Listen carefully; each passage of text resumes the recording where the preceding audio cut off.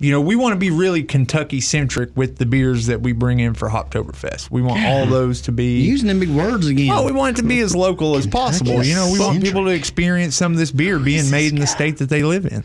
But like, so is, is IPA and craft beer the same thing? Sure. IPA is just a style of beer. IPA stands for India Pale Ale.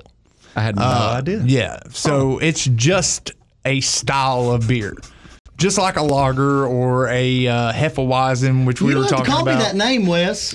It's just a style of beer. Told you I'm working on it, man. Don't be calling me a eh, eh, Hefeweizen. Eh, in, wait, you say Indian Pale? India Pale Ale. India Pale. Yeah. So you've got India Pale Ales, and then you've got regular just Pale Ales. An what I'm talking IPA is kind of what you were talking about. Uh, you know, the flavor profile, and there's so many different ones. It's hard to nail it down and say this is what an IPA tastes like. You worry about that, and he's calling you Hefemeister. I don't know what's happening. here. Hefeweizen. I mean, I don't even know what's happening. Hey, he, he was saying some stuff earlier, man. I don't, I don't even know how to he spell half what speaks he's like saying. literally. He speaks like another language, but it's like, it's like, man, you're a smooth talker. well, But what are like, like what's no. some like the key differences between like IPAs and craft beers versus just the regular beer that you get at any bar or Walmart, like What? Bud Light, Budweiser, yada yada yada. Uh, there's a lot. I mean, obviously, you know, the big thing that jumps out to just the common person, I think, is the the alcohol by volume ABV is typically a lot higher on an IPA, and, and it's just the process in which the beer's made, the style of hops. There's a bunch of different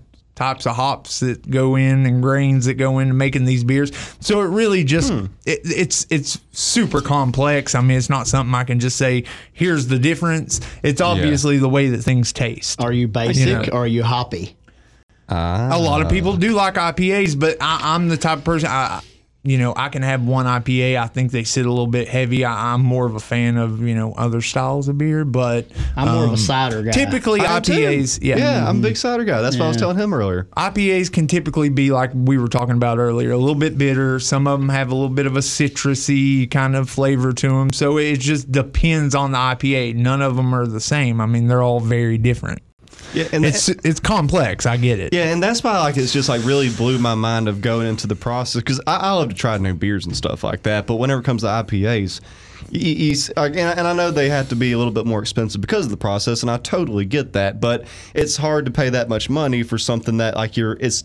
It's hard to understand even what you're reading on Sure. the bottle, and that's why an event like Hoptoberfest Yeah. is so great to me because you get to actually try and figure it out for yourself at a much lower cost than mm-hmm. going to the store, going to a bar, and just going in there blind, all willy nilly. And also, you're getting to talk to the people that crafted the mm-hmm. product as well. You're not just talking to some cashier that that's, that they're just there working. You're actually getting to learn about the process We're and learn more this year, about it. Aren't we? Aren't we the? Aren't we the? Are we working the? Hoptoberfest. Yes. Yeah. Of Yeah, we're the we're the ones pouring, right? Yeah, our staff will pour, but we also have representatives Yeah. from whatever breweries we bring in.